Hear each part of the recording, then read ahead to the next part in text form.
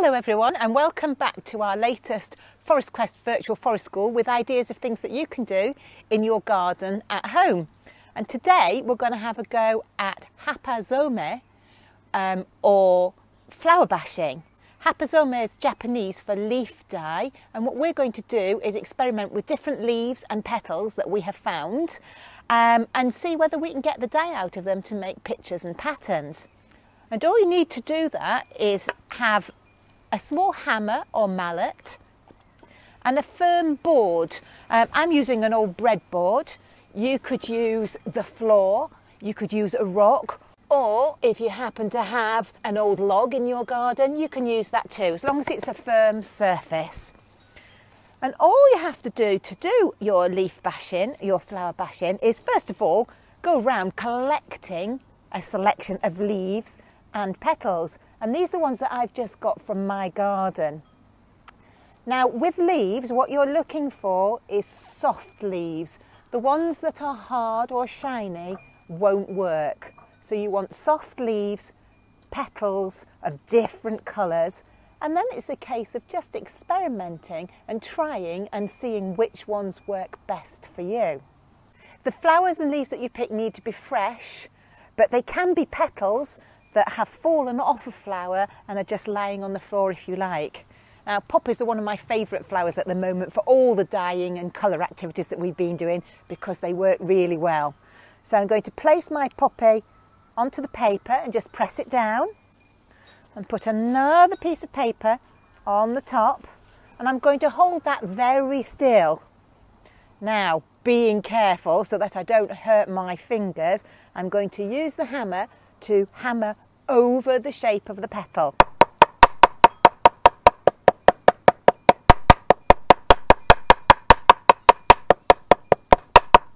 And as you hammer, you will see the moisture coming through the paper. Now it's important that the paper you use is not really, really thin because you'll find that with too much moisture, the paper will just tear. And my paper's actually moved a little bit, which means I've got to hold it even steadier. And then I'm going to peel my paper off. And you'll see that the paper that I peel off has a picture or a pattern of the um, petal. But also, if I peel off from here, the petal that I've squished, throw that bit away, you can see the dye that's come out to make a petal print. Now, if I wanted to, I could use a pen to add to that and make it into a picture. To me, that's a butterfly wing. And if I added antenna here, I think I would have a lovely poppy butterfly. I'll try a few other things. I've got a buttercup. Dandelions are fabulous, but I haven't managed to find one today with the weather not being so bright and sunny. And we'll have a little go at a leaf. I've got a leaf I'll press down and I've got a little pink flower. I wonder if you can see all those. Put the paper on top and press it down and then holding it still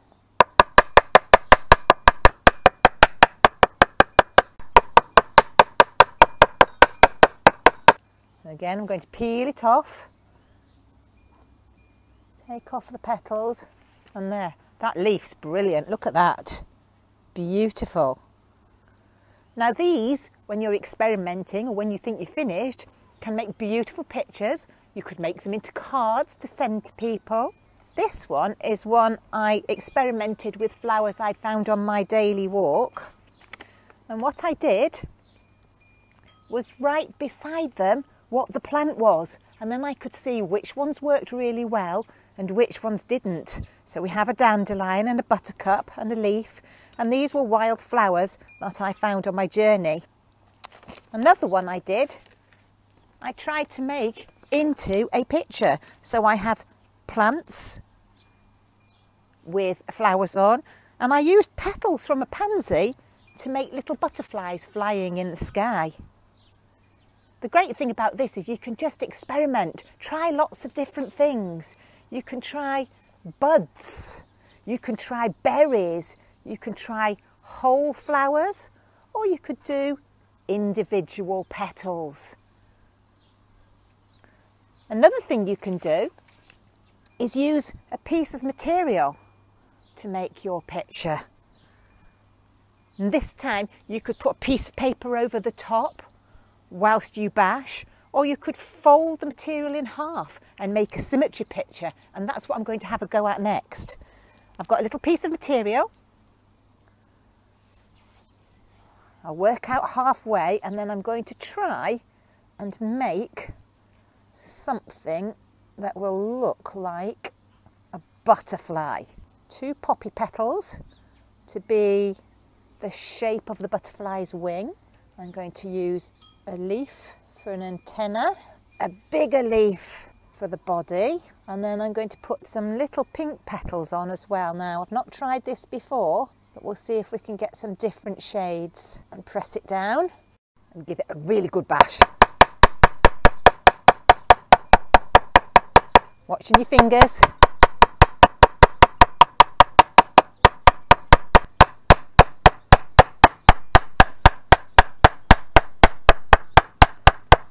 It's a nice bit of pink.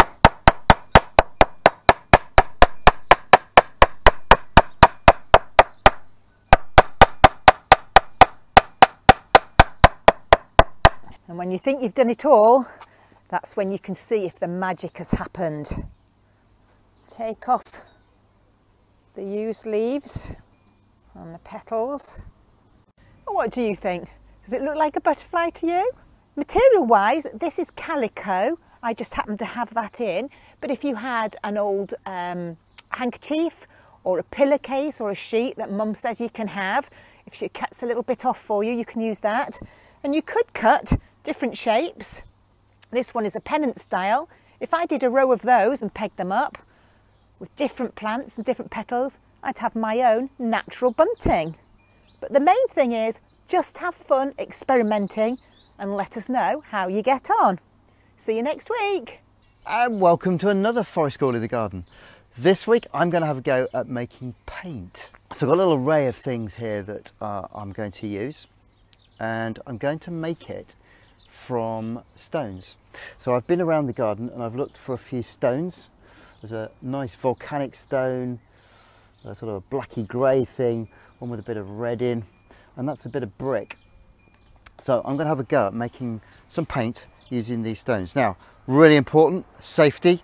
We're going to smash these rocks up.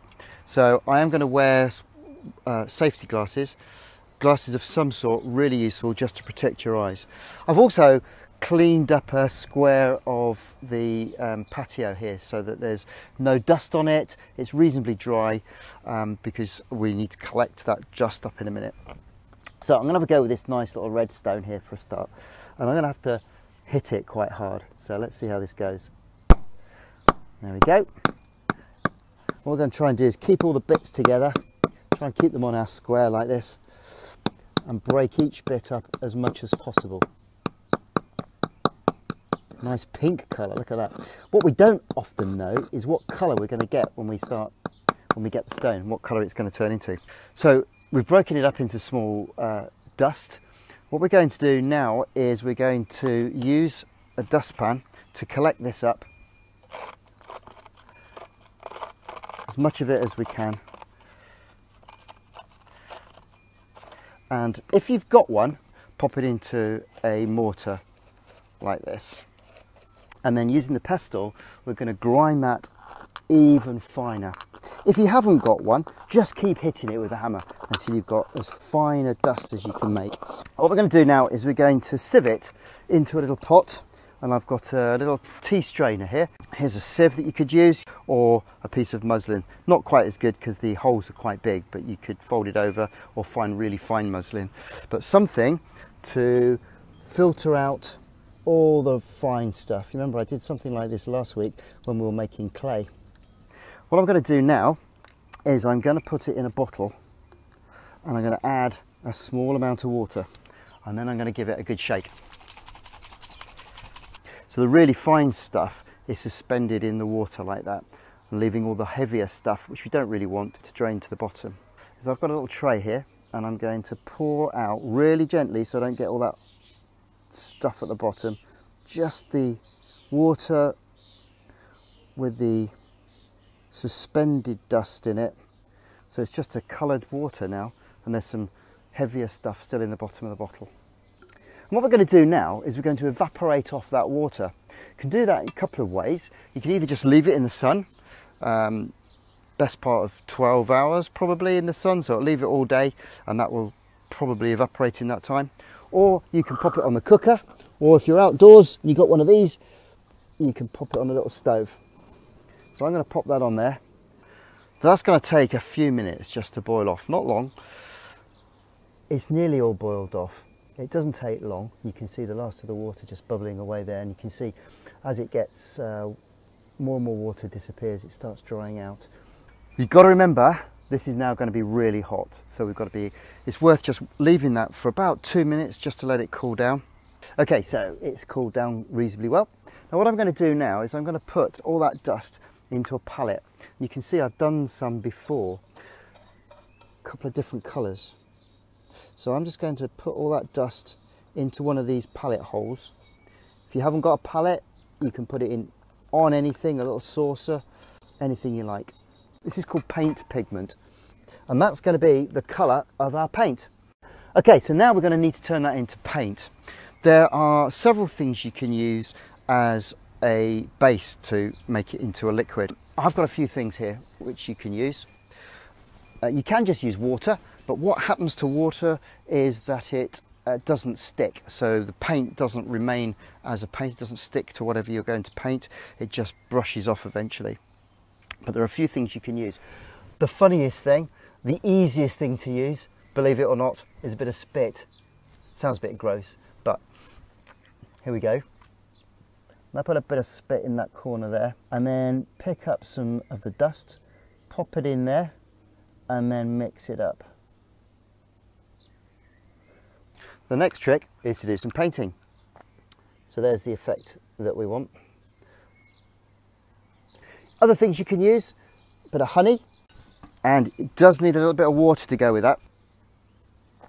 Now it looks slightly nicer, much smoother finish to it.